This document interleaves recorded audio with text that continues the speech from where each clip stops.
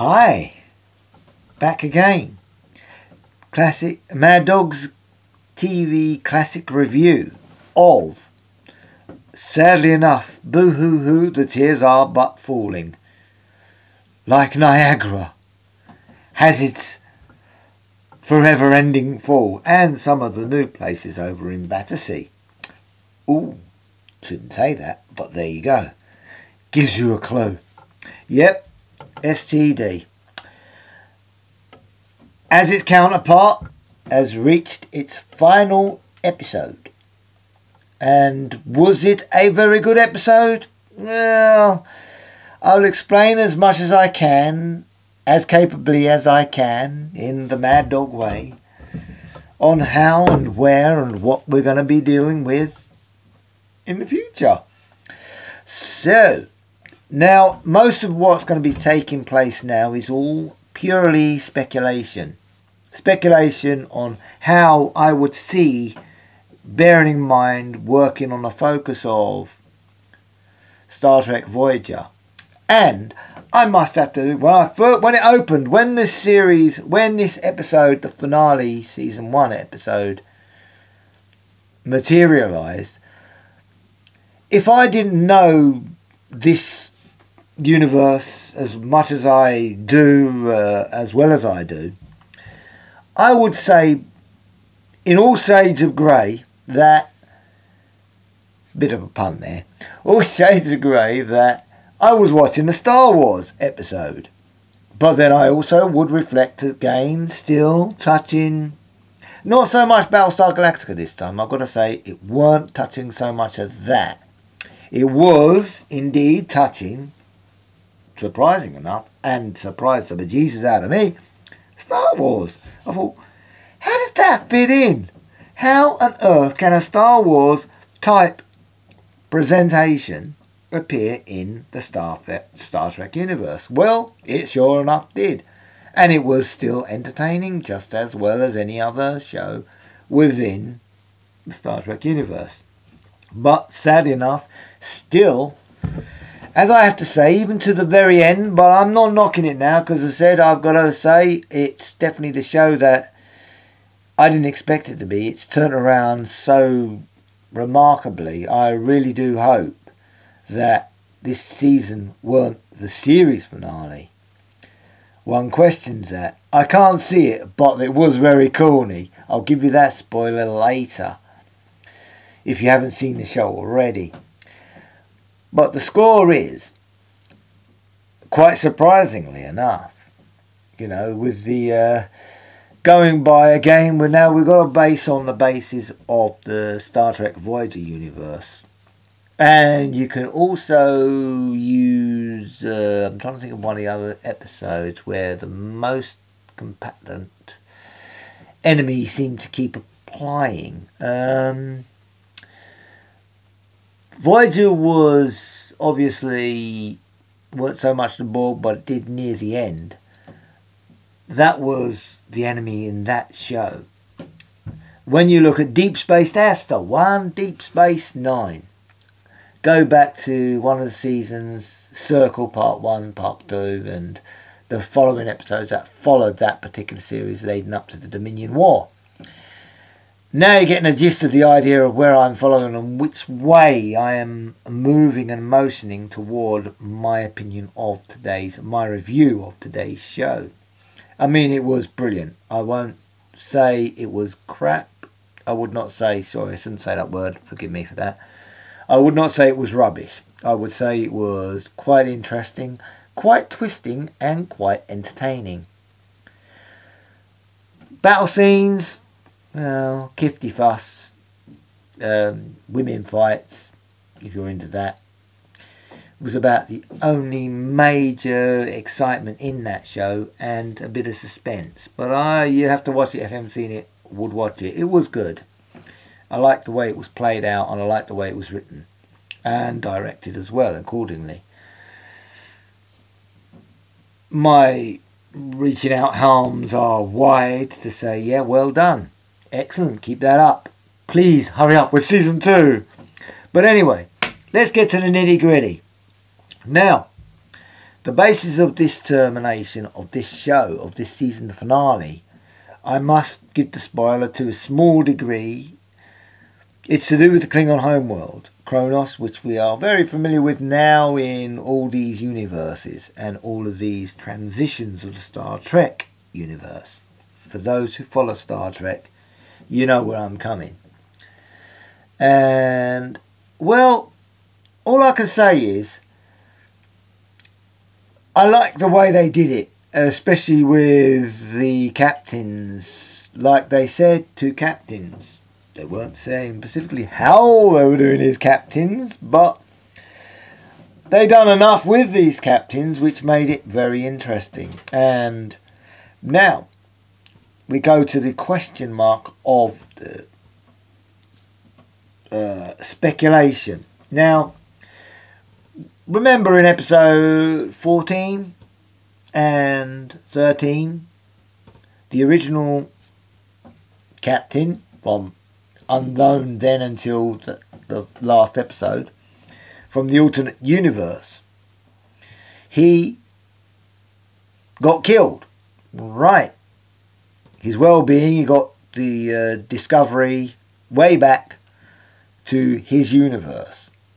Now, the actor, with respect, and I do like the actor, he's very good, he's a very strong character. So is Tilly now, I might say. Tilly, I mean, they've already spaced out the cat, uh, the characters. You got uh, Sulo or whatever his name is, uh, Su, uh, Subo or whatever his name is. I can't think of his name. I only just watched the show just now. He's a good captain. He's a very uninteresting captain. He's not an un. He's not a boring captain. He's a very interesting captain. You've got the young Sarek, Spock's dad, in it as well. You've got now Burnham, like in surprise, surprise, the Voyager system and the world. The escapee, the uh, convicted criminal, has now been reinstated to the Federation. Like the other character in Voyager, we know who well that was. Mr. Paris yes, became back in the Federation. So there you go, they followed that to the latter in 100%. And she was doing a role of a number one, so, you know, there's speculation there. Could she be the next number one? And Saruk being still the captain, well, he's the acting captain, but I reckon keep him as the captain, because that does the job well. He's doing the well. His character is strong character. Tilly, surprising enough, has turned out to be extremely strong. Bit clumsy, but still very, very strong. And of course, we know, obviously, the guy who allows them to launch through various dimensions, which he's not allowed to use his powers at this moment in time. We will see that will change, no doubt. Often does in the universe of the Star Treks. So we're looking now. Now let's talk about that captain. That captain who got killed. Well, the alternate one. Let's face it. He wants to come back. The actor who played that role wants to come back. Well, yeah, that's easy to be done. We know in the universe if you use the stigma of, yes, carry on with the Voyager stigma, but you can also use, now, I have to say this, you can actually use a stigma of one of the other Star Trek shows. Touched it slightly. But you also are touching another show, totally unrelated to the Star Trek universe. I mean, you got Star Trek Continues. I think they may have used something similar to this particular role where he can come back. But what does work, and I know for a fact we're all going to say, go on, lay it on us, Mr. Dog, well, I'm going to lay it on you. The way I can see it now, correct me if I'm wrong. Remember old Scotty? Oh, yes, good old Scotty. He was stuck in a. in the thing that allows them to go to another planet quite easily. Transporter. I know I get it right soon.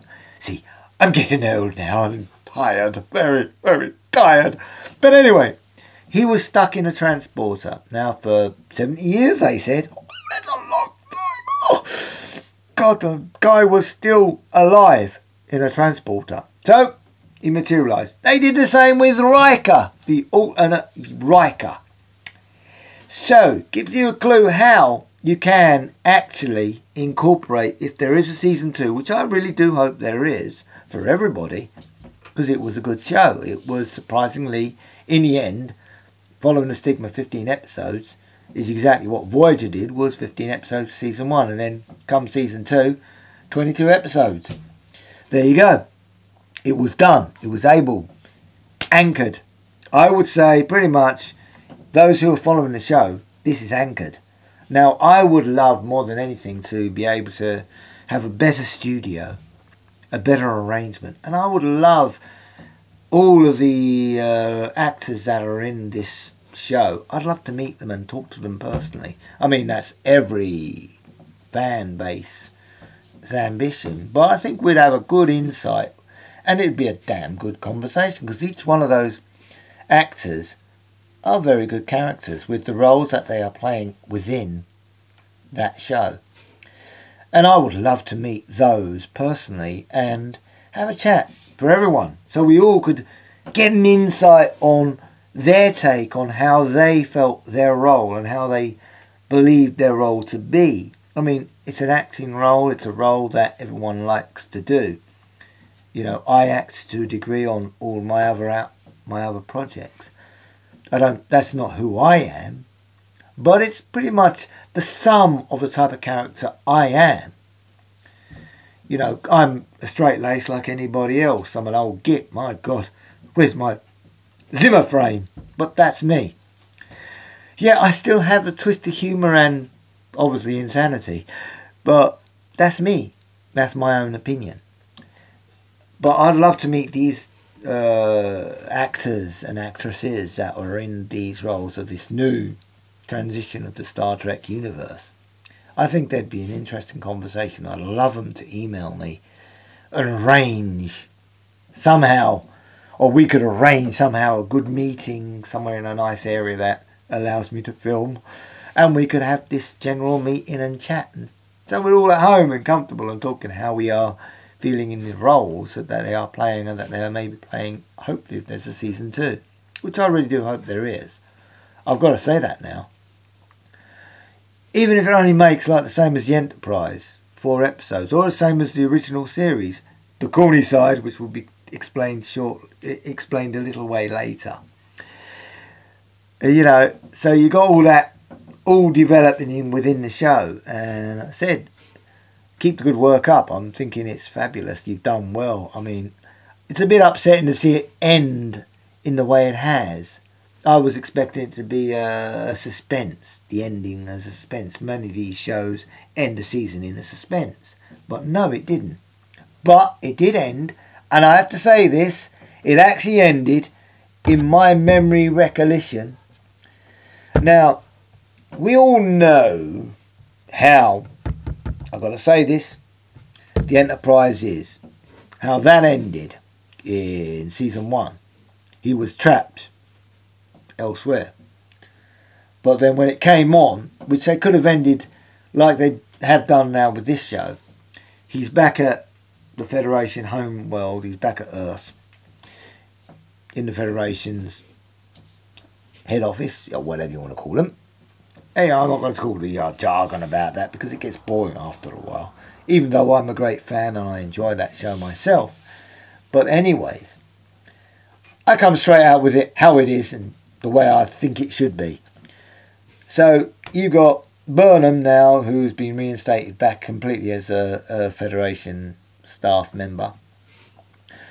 Uh, and then now you reflect back on a number of the episodes of Enterprise where the captain ended up back at the home world with a big meeting. And unfortunately, the season, the series ended with him saying how we need to go far and beyond. Well, they'd used that corny sort of approach with the end of season one. But that weren't the end of season one. The very end is the corniest part, and I'm coming to that shortly. But anyway, where were we? We were still talking. I keep swapping around between words. I mean, I've given you a clue how we could reintroduce the original captain of the Discovery. The original captain, not the alternate, because he's dead. But the original captain might be able to be revived in that, and he will be able to make a recome. And you could, you know, here's an example. Now, if you trace the history of where you've had uh, Captain Picard from the original Next Generation, he was taken over by the Borg. He was compromised by the Borg, which affected him. Now, using that in line, you could use that with the new captain, with the original captain. He can return in that aspect. He will be traumatized, he will be damaged, and it's him rediscovering himself. There's a good storyline which I think I'm sure you could use, and co writers and producers, if you ain't already thought of that already, it's an angle to actually bring him back in. And he was a good character. He was a strong character. All right, he was a nasty character. Well, that version of him. But the original, as a sum of the man, some of the role that was played, it would be an interesting character to rematerialise. Now, we come to the corny part. You've got the Discovery out there on a call, and surprise, surprise, we finally hear that of the Enterprise. Uh, shock, horror, surprise! The Enterprise? From the Discovery to the Enterprise? The tie-in has finally merged with Captain Pike. Wow! That's a spoiler you didn't expect, neither did I. I was shocked myself. But if they played it right, that's how they could reintroduce the original captain through a strange fluky mission. He was he was discovered. Bang. Who knows? Or is this going to be where they carried on with the two captains? And we know who the bad enemy is going to be on this one. You know, like every story has its nemesis. Like you go through the original series, the original series has always been Klingons, major nemesis. Then you go through the next generation, two nemesis were involved there. Originally it was the Q continuum. He kept on appearing and putting them in uh, bad situations, and then came the Borg. The Borg were the worst. And then you go to Deep Space Nine. Who was their nemesis for the last few seasons? The Dominion. The Dominion and the shapeshifters.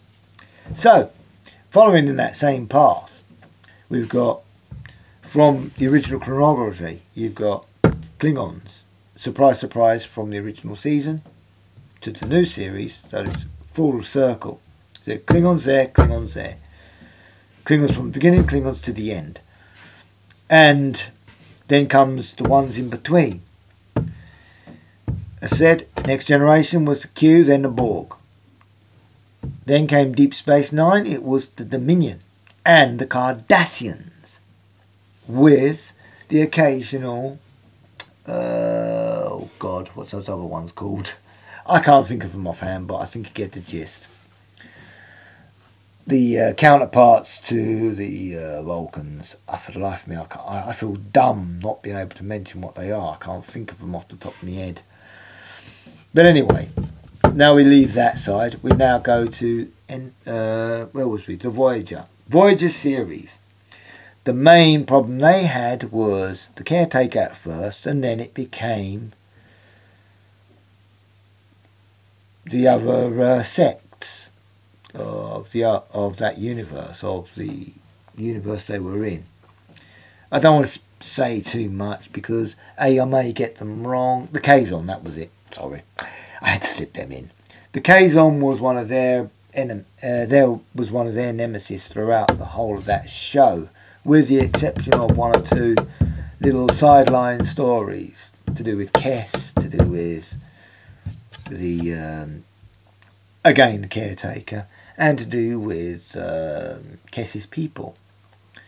They were small pointers of that nemesis of the show, but the main menace, as we know, was again the Kazon and then became the Kazon and the Borg. Yeah, no figure, but that's the way it went. And then comes the Enterprise, the other transition. Who was the enemies in that? Again, it was the uh, Klingons. Uh, they were the main nemesis. Quite a lot.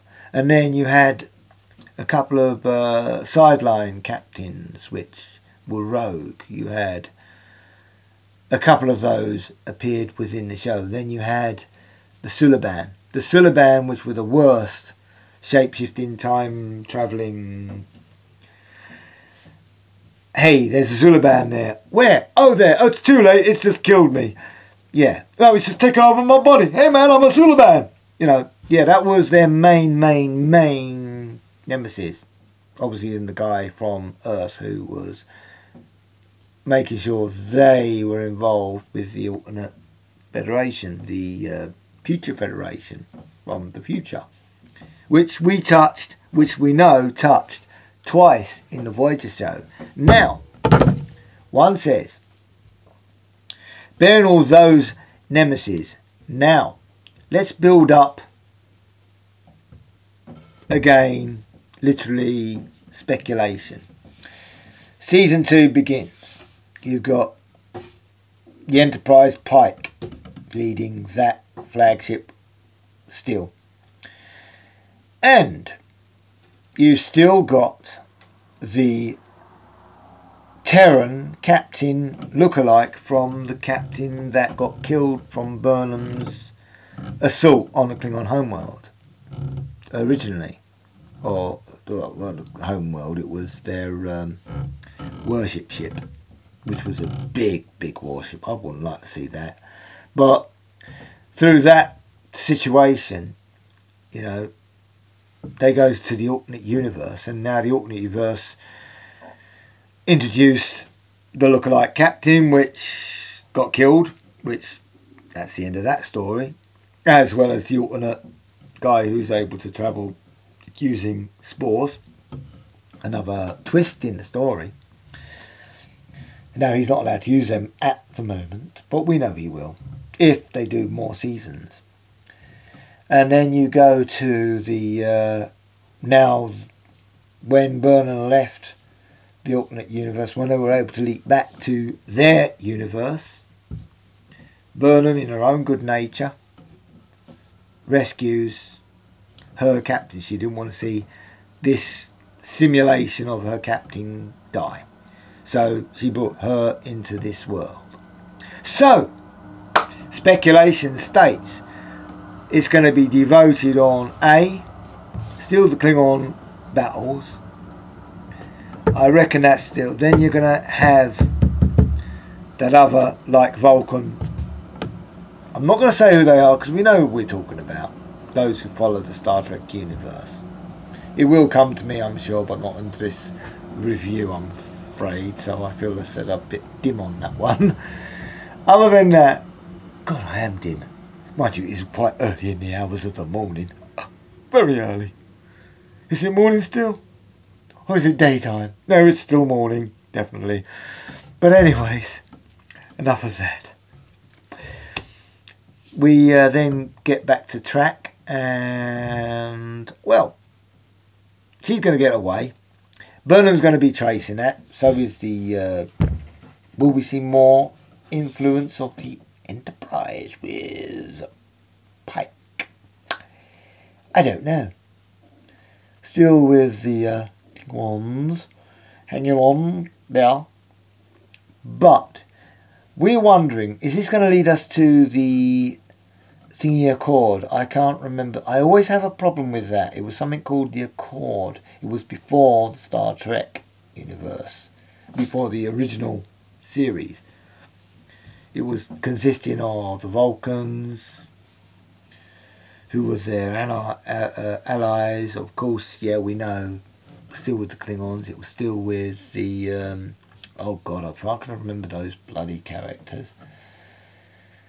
They'll come to me, but I said unfortunately not for this review.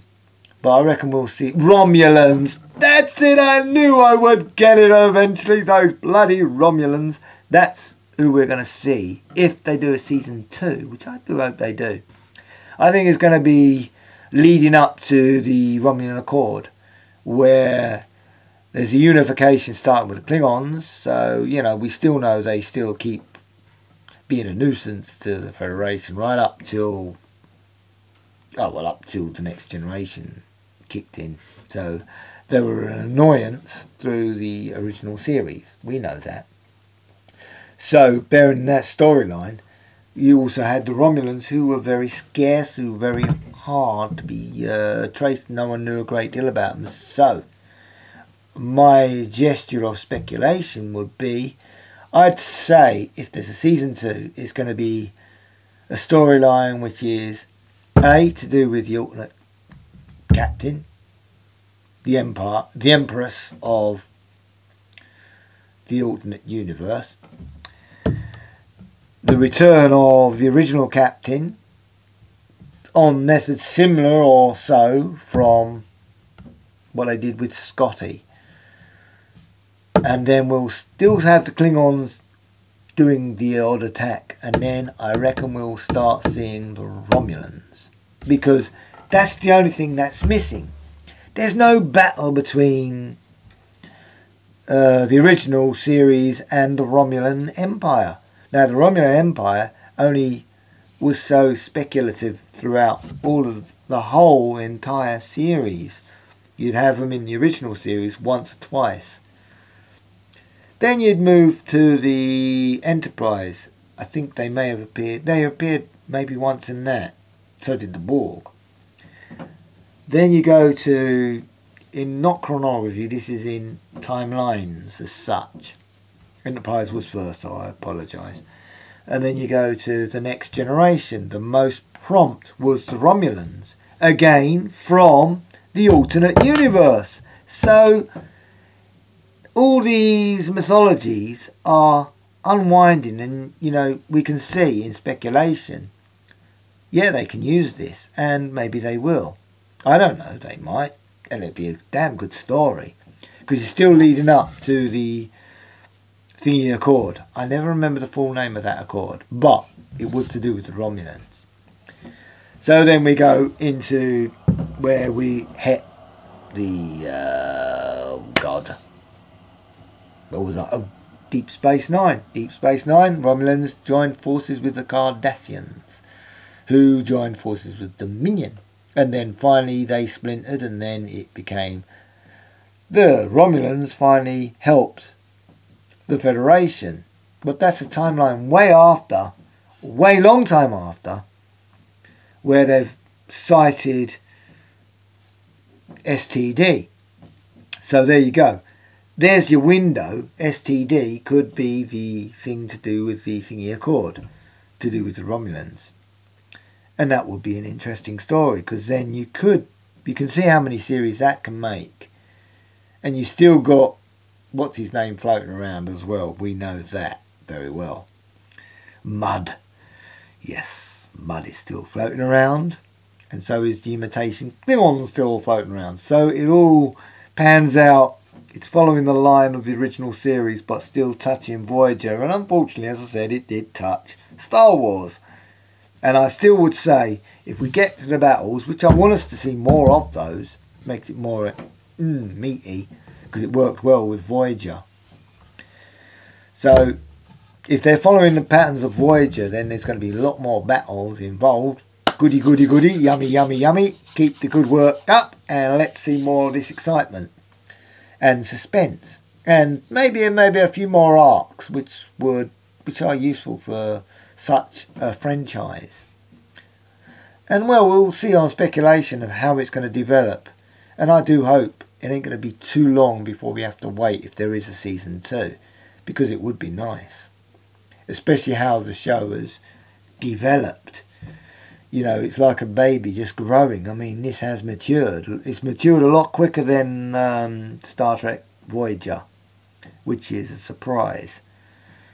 And, well, Klingons aren't speaking like Gerbohemians, which is upsetting, because it gave me something to take a mickey out of, or dog it. But now they are speaking more threatening, and now they're trying to piece up the pieces for now before they rematerialize, which I think you'll find if they do another season or more, it'll be around the time of the Romulan Accord.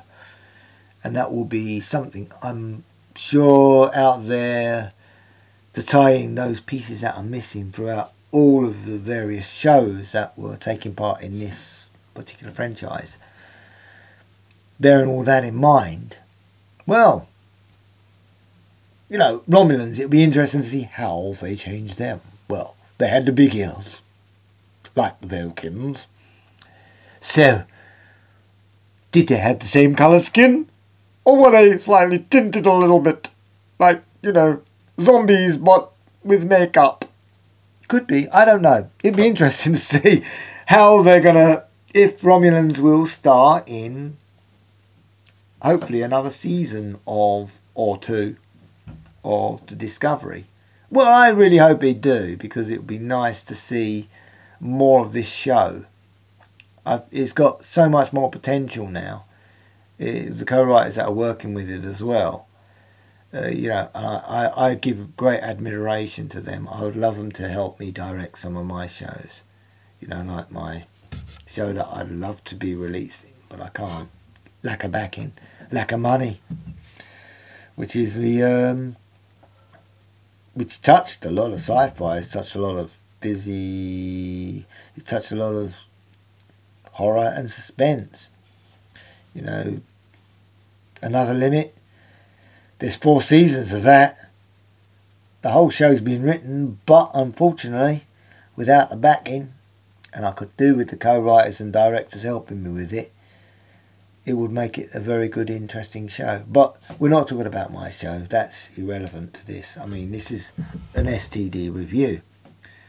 A wind up. Oh, a sad one. Oh, I hope there's gonna. I hope we're gonna be able to do this again soon for season two, because it will be good. I mean, it's going to be interesting because when season two starts, if season two starts, speculation. Hopefully it does I don't know what I'd be doing the same way as I've done these reviews every fortnight. Well, with the exception of now ended at 15, which is following the original series, as I said previously.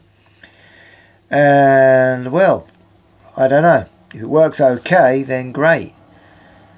If they carry on with the paths they're following, then even better. I'm not going to complain. I'm sure all the fan base out there will enjoy it. Meantime, what we've got to follow now is. Uh, reruns of the old series, and obviously I'll always recommend it. Star Trek Continues. Star Trek Continues is a good show. I hope they use some of those characters if there's a season two. They could do with using some of those characters in the new show. It would be interesting. It would be bloody interesting, in fact, to combine what the fan base with an original template that they've used other sci-fi attributes in. I mean, but I said I was shocked to see how well it was done and how well it did, and the fact that if I didn't know Star Trek as I did, I'd be looking at it and thinking, "Am I watching a Star Wars episode or something, or some other sci-fi limitation like that?" Because it was good, without a doubt. I could not fault it. There was no fault I could find in that show at all. It's 100% recommended 100% recommended to watch. And I would say this is the one to watch. This is the one to see how it develops. This is the pinnacle for the show's development. You could use this and the base of the last seven episodes, seven episodes onwards. That is where you change the show. You change the show into a way that has got everybody, probably newbies out there, into this whole concept. And I tell you what, it's worked. Hopefully, you've had enough views through all the other outlets that have been releasing this show for it to merit that season two. And more, preferably. You know, you've done well. I can't fault any other way around it apart from your storylines are strong, the show was strong, it was surprisingly interesting, and I would love to show more clips. Well, if there's a season two with what I've got planned, if I am allowed to do that, with respect, and I hope CBS ain't going to uh, sue my butt for it, if I can use sketches or photographs of if there's another season for those who do not watch the show, I'm going to try and give you an insight on that. But again, my hands are tied because copyright protection. I mean, copyright protection is a right pain in the butt. I mean, I've got copyright protection on another limit, but again, it's copyright limits and rules that have stopped me releasing all those shows. I haven't said I'm not going to, but I will do. It's just time, money, and placement. There's a lot involved in that.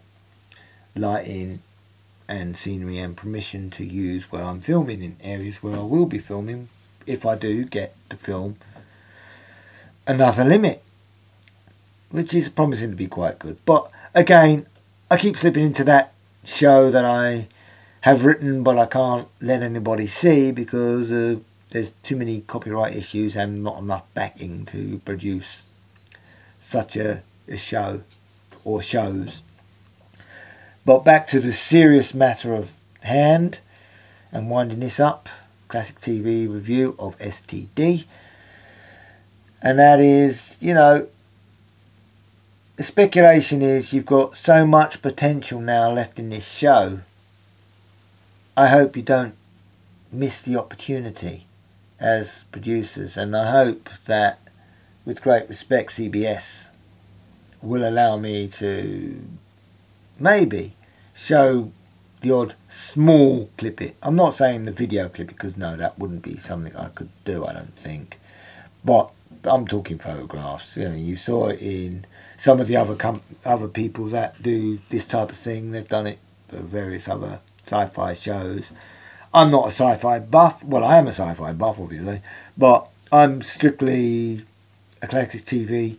There's no limitation of where I would go, but I'm hoping to give you more to work on rather than my ugly mug, which can get rather boring. I think, oh God, it's that damn dog again. Oh no, take him off the screen, cover the face.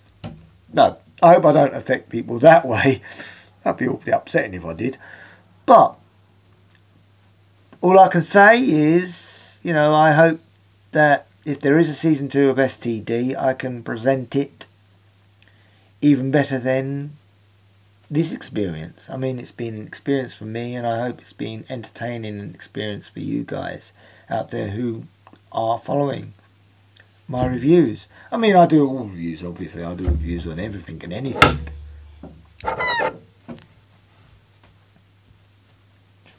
My goddamn light has gone down to sleep. Oh my god, that is not good. Oh, him right in the face. Oh, that'll have to do. Oh my god, that is blinding. Yeah, but anyway, all I can say is I'm running out of time now because uh, I try not to make them too long. This has been exceptionally long special because it's the end of season one of STD. So I hope everyone who's out there who's enjoyed and watched and viewed all my reviews with reference to this show and I hope you've enjoyed them. And I hope to see you again soon and discuss more of things. I might tickle a few reviews of the older shows and see how we can compare them. I may compare them with this show, but uh, we'll see. It's only speculation for myself on that one, Maddog's ta- uh, Classic TV reviews. So, until then, or not, hopefully, look forward to season two. Hopefully, there will be a season two. Hopefully, I'll have a lot more to show you and hopefully give you a lot more entertainment with the Maddogs review of STD. And this has been said review. Hope you've all enjoyed, and I hope I've entertained you enough throughout these long periods. Till next time, if not, be safe, take care of yourself, be lucky, and as I do, I have to do it. Live long and prosper. Uh, live long and prosper is the saying they say. I can't do it with the other hand, unfortunately it's a bit awkward with that one, as it sometimes could be missing. Okay, now you know the secret of the dog. Till then or next, or not. Just take care of yourselves, be lucky, be safe, and enjoy, and be happy. And be safe. Most of all, it's been my pleasure. Bye now.